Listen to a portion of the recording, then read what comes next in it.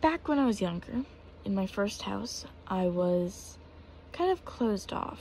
Had like one, two friends. This is like kindergarten through um, third grade. I had two friends and I was like energetic, upbeat, not really loud, but you know, I was a great kid. I moved, okay, no, I lied. I wasn't a great kid. I was a bit of a bully, honestly.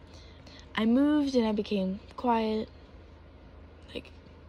to myself, and then I met someone like second day because first day of school, I all paperwork apparently wasn't filled out correctly, and I uh, I met someone and I basically kind of copied their personality a bit, I guess, because I became loud, I became clingy, a bit touchy.